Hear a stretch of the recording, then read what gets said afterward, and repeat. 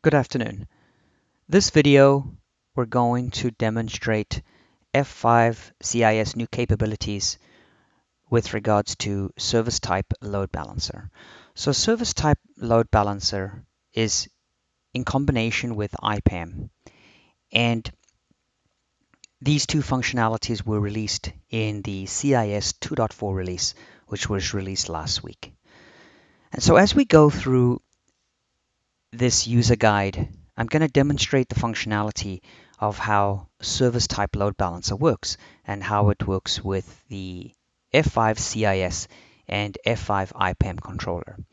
And so you might ask, why do you want to use service type load balancer? Service type load balancer is really the simplest and fastest way to expose a service inside the Kubernetes cluster to the external world. So really what's happening is that your developer can create a service inside Kubernetes and a public IP address can be exposed and provided to that service. And the goal here is for CIS to take that public IP, or if you want to call it that external IP, which is what the service calls it, and configure the big IP. And this should all happen through an automated process. And that's exactly what I'm going to show you. So taking a look at this example that you can see on the screen here. So we have a service called f5demo.service, and this is just a YAML file. This is a very simple service. But what's really interesting here is inside the service, you will notice that there's an annotation. And so because we're not dealing with IP addresses, we need to specify somehow where this address is going to come from. Since this is potentially, let's say, an on-prem environment, CIS needs some mechanism to basically pull and associate an IP address with that endpoint service called F5 demo in this case. Take that service and then configure the big IP with that service external IP address and what we know as potentially a virtual IP address. And so as you can see this annotation here, we see that this annotation is of IPAM label. So we're using the functionality of the F5 IPAM controller and it gives us the capabilities inside the IPAM controller to create these labels. And this label happens to be test. Test is just the name of a group. It could be a namespace, it could be a user group, but test has a range of IP addresses associated to it. And exactly that that's what's happened here. So the other thing that's also required in the service is of course type load balancer. Type load balancer is really what defines the service as type load balancer and therefore the external IP address would would get created. So what you can see is with the service, you can also see here on the IPAM with the IPAM, you can see this within the custom resource definition. Here you can see that the host spec is of IPAM label test. Since there's no host header here, we're dealing with just the IPAM label of test. And what will happen is this custom resource will get the IP address from the pool or from the IP range within that label of test. And an IP address would get allocated and as you can see here, this IP address got allocated. It is of this key string is quite important because it is of the namespace default with the following service. So for the following service within that namespace with that IPAM label, the following IP address got allocated. So you can kind of follow along. Inside my user guide, I have provided all of the configurations that you would require to set this up. You could clone this repo and you could go ahead and test it yourself. As you can see, I have a little bit more detailed of the service and kind of what the service looks like if you wanted to edit it or if you wanted to look at it in a little bit more detail. Um, you'll notice that, of course, the IP address and the status is shown. If you wanted to configure the service, we'll talk a little bit about some of the requirements.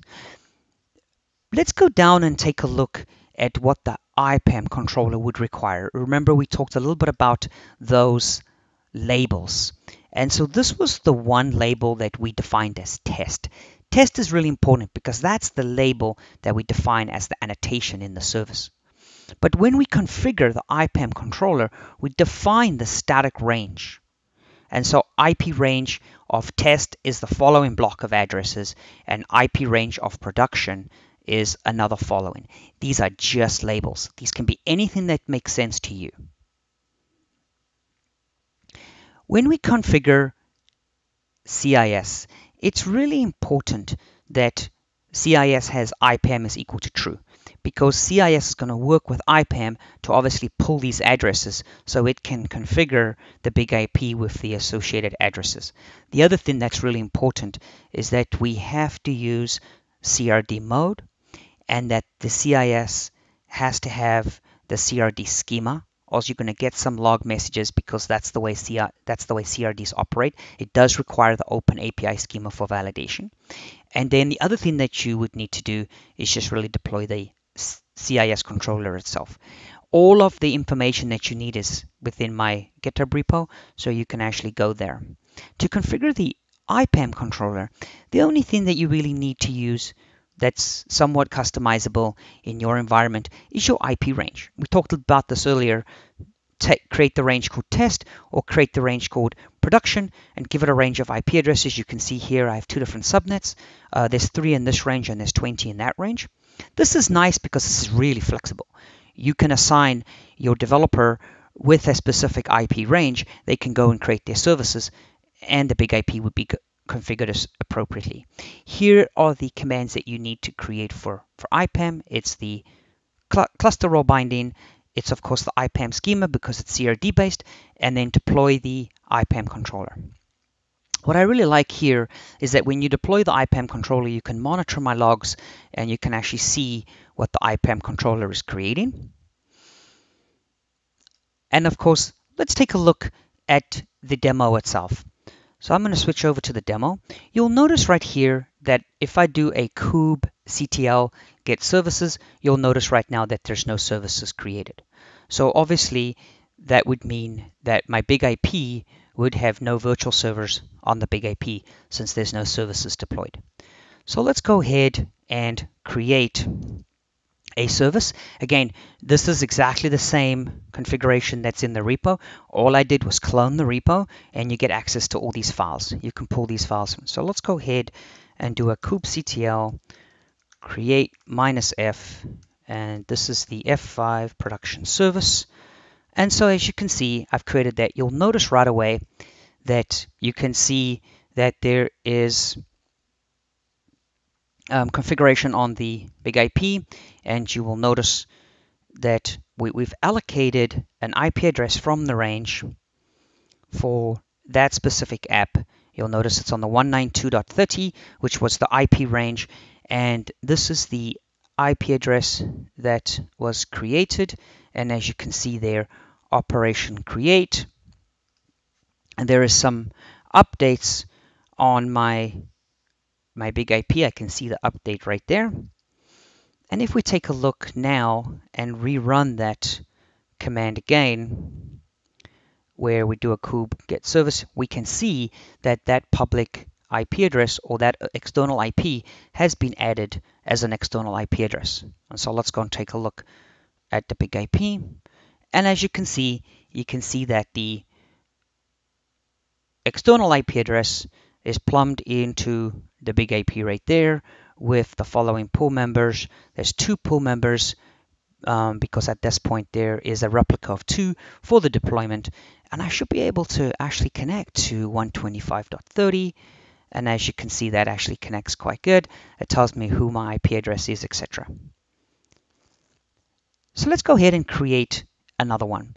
I'm going to go ahead and change to my directory structure where my test application is. And it's the same thing. We'll do a kubectl create.